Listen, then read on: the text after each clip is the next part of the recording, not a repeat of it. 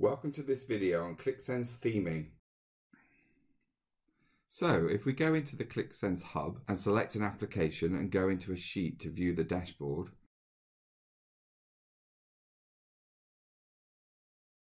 then select show app information and go to app options, we can select between app themes. Two standard app themes are available by default. We can toggle between them to see the change in themes to the application in Qlik Sense. Now let's close this and close the app. Now if we go back into the app overview and make a change to the URL, we can toggle on the custom theming feature. We simply append feature forward slash theming plus theming underscore QMC and hit return.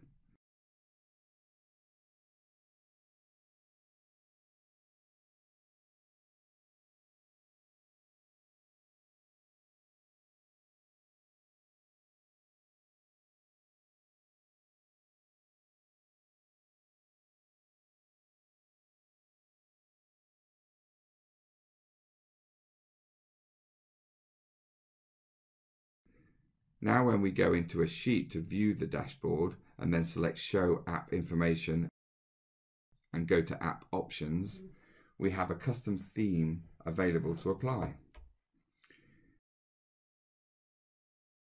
Here you can explore to see the difference within the charts, titles, formats and palettes between standard and custom themes.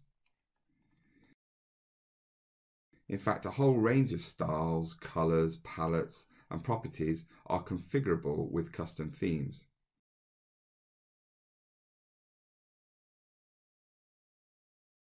These options are configurable within a zip file that can be imported as an extension through the Qlik Management Console for Qlik Sense Server.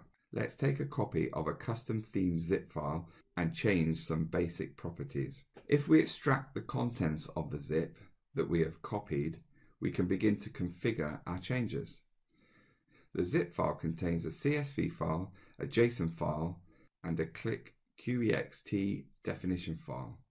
Let's open the QEXT file to give our new theme a name and rename the file itself to the name of our new theme. In this case, my new.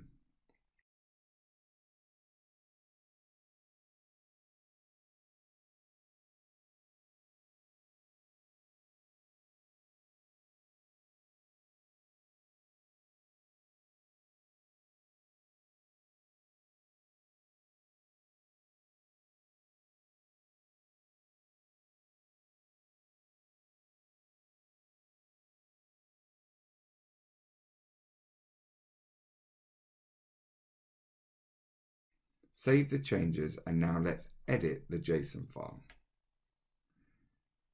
Make sure the theme name property has the new name. And let's make a simple change to the background color.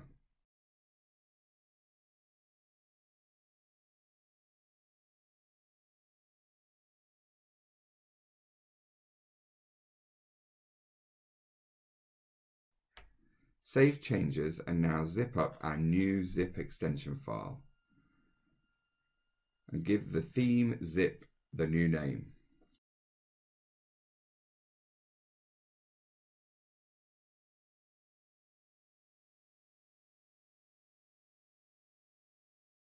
Now we can go into the Qlik Management console to import the theme extension. So go to Extensions, Import, choose the file we just created and import.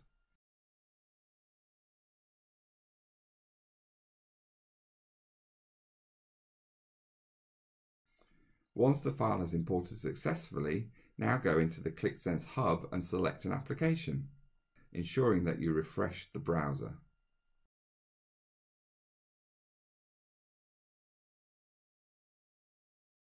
Now when we go into a sheet to view the dashboard, then select Show App Information and go to App Options, we have a new custom theme available to apply.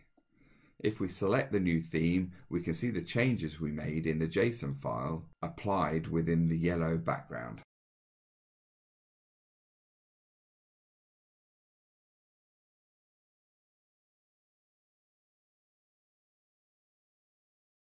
Thank you for watching this video on Qlik Sense theming.